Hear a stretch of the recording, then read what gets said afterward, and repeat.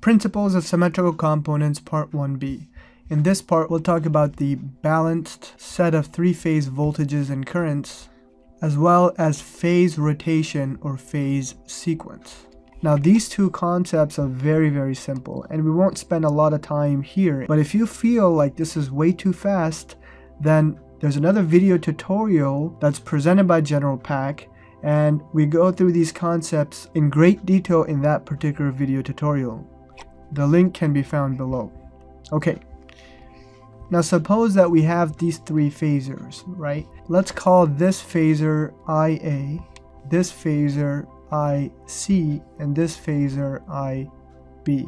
Now by inspection I can tell you that this is a balanced set of three-phase currents. Now, how do we know that this is a balanced set of three-phase currents? We would have to verify three rules. Now, rule number one has to do with the angle.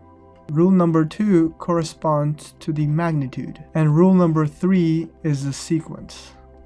So with respect to the angle, we would have to have equal displacement between all three phasors. And what that means is that the angle between IA and IB has to be 120 degrees. Okay, the angle between IA and IC that also has to be 120 degrees, and the angle between IB and IC well that also has to be 120 degrees. If the angle displacement between all three phasors is 120 degrees, we have completed rule number one. Now rule number two has to do with equal magnitude between all three phasors. So if the magnitude of IA is equal to the magnitude of IB, which is equal to the magnitude of IC, then we have completed rule number two. Now, we know that the magnitude of IA and IB and IC is equal to each other because the distance between this origin point here and the end of the tip here for IA is equal to that origin and the tip of IC which is equal to the origin and the tip of IB. So the length of phasor A is equal to the length of phasor B which is equal to the length of phasor C. So if that is true then we've completed rule number two. Now the sequence has to do with the phase sequence of these three phasors. So let's clean this up a little bit.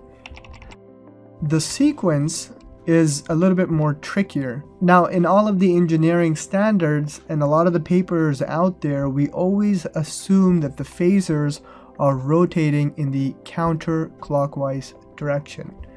Okay, now if all three phasors are rotating in the counterclockwise direction, then the question is what is the sequence of these three phases? Now, by inspection, I can tell you that it's A, C, B. Now, how do I know that? Now, suppose that you place an stationary mark here. If you place a stationary mark here, if all three phasors were rotating in the counterclockwise direction, then we know that phase A is going to hit the stationary mark first. Now as they rotate, we'll see that phase C is going to hit the stationary mark second, and then phase B is going to hit it last. So by inspection, we know that the phase rotation or phase sequence is an ACB phase sequence. Now before we conclude here, I just wanted to say one more thing about this phase sequence. Now suppose we had an A, B, C phase sequence. Now, how would these phasors change to make this an ABC phase sequence, right?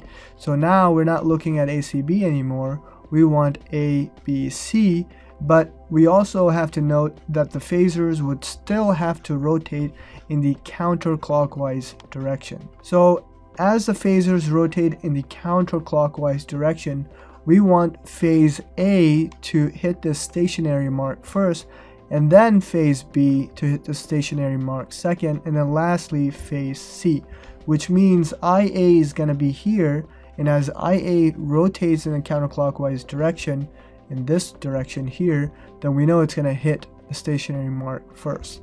Now we want IB to hit the stationary mark second.